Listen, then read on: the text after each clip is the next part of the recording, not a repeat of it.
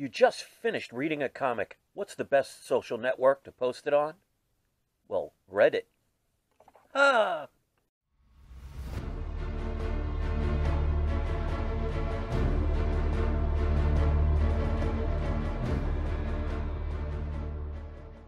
This video is sponsored by PGX Grading Services. Get 10% off your first submission by using the code We Love Comics 10% on your order form. Link in description. Hello, ladies and gentlemen. My name is Chris, and this is my channel We Love Comics. And today I'm going to show the next four key issue comics that I will be sending out to get graded.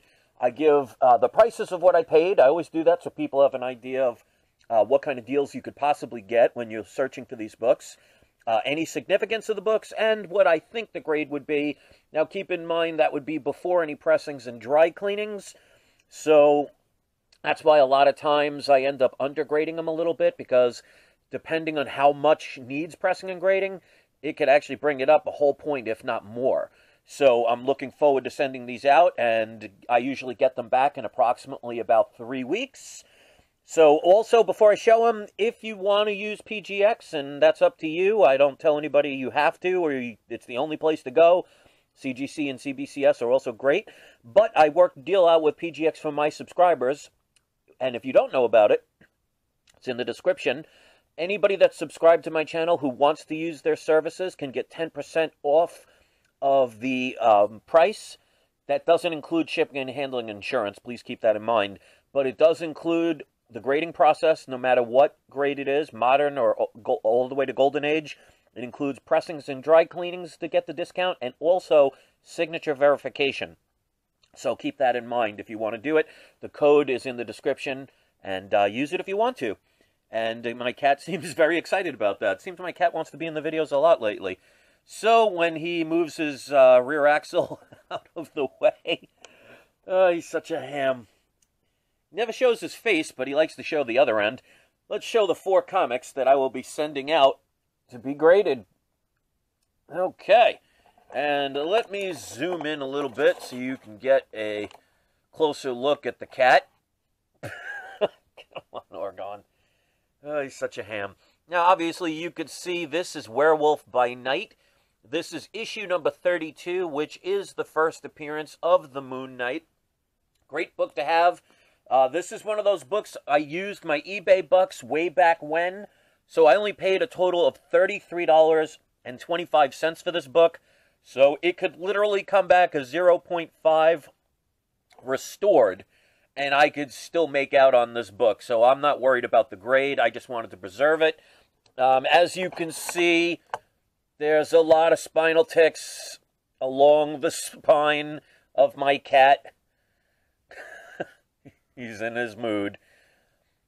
So there's a lot of spinal ticks. You could see right here, there is a little bit of a dog ear bend, no loss of the paper, just the color break. There's a color blur break along here, checked inside. All the coupons are intact and all that other fun stuff. Sorry about that. But, uh, I mean, like I said, I paid under $40 for this book, so I'm not going to complain, whatever the grade is.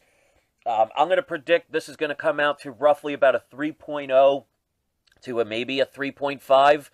Um, pressing is not really going to help this book because obviously, with all those color breaks, pressing can't do anything about that. But it may help flatten out. There's a little bit of that indent, and that's probably when people stack the books on top of each other and it causes that little indent. So pressing will help that. All right, so let's get to the next one. All right, next book we have. Cat is comic blocking. Green Lantern issue number one. Now, that obviously is not the first appearance of the Green Lantern or anything like that, but it is the first in his own individual series. Um, this book has some water damage where I'm not sure how good a pressing will fix this, but there will definitely be some improvement. There's a lot of wrinkling here, but it's only this area right here.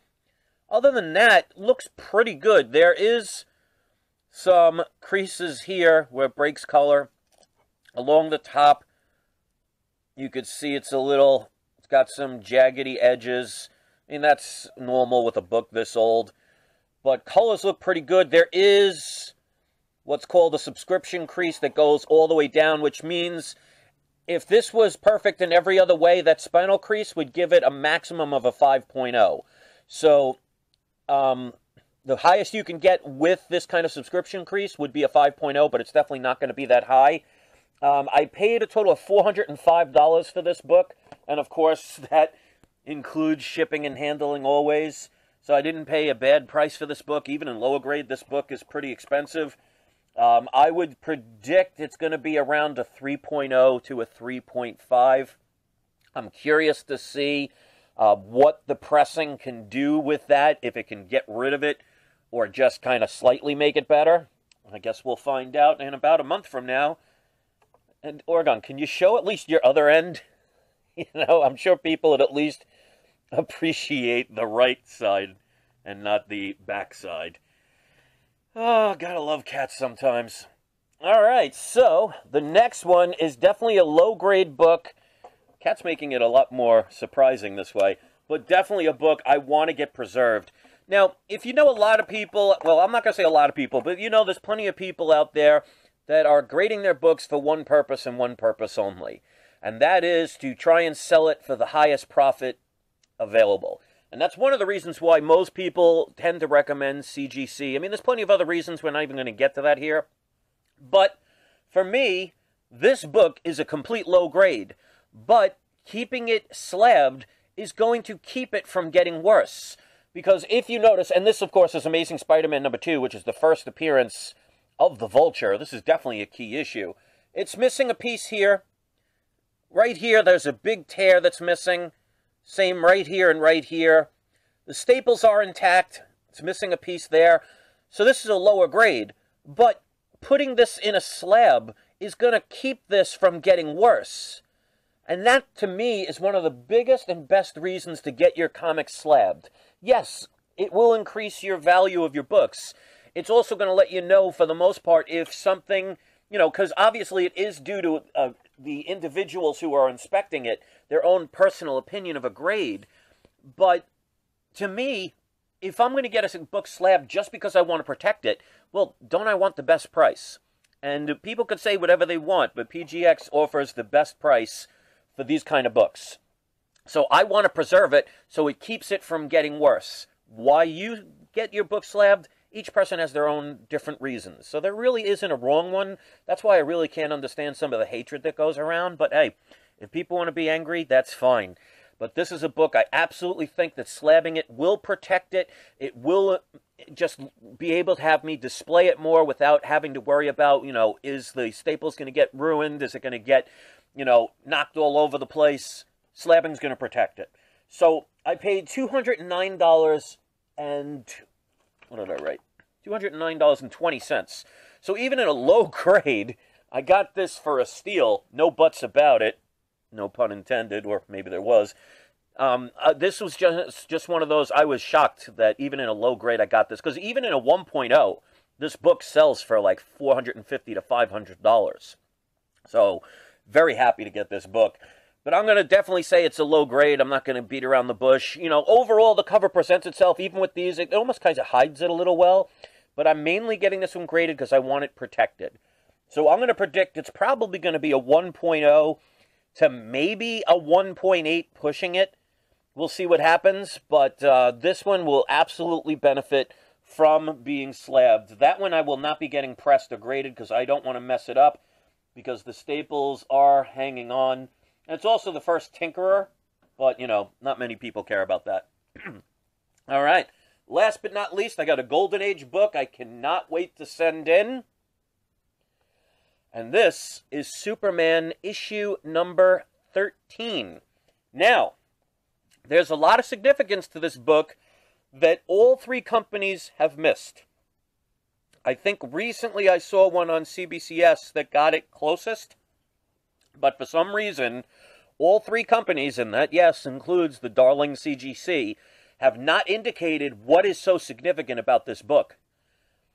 I wrote it on the back because you don't want to assume the company knows, because obviously, if you see some of these graded, they don't mention these things. Uh, this book came out in 1941. As you could see, I paid $360.99 for this book. It does have tape along the edge. That's perfectly fine. It does not bother me, especially for a Golden Age book. It has a Luthor appearance, but here's the key. This is the first full appearance of Jimmy Olsen, because this is the first time his name was ever used.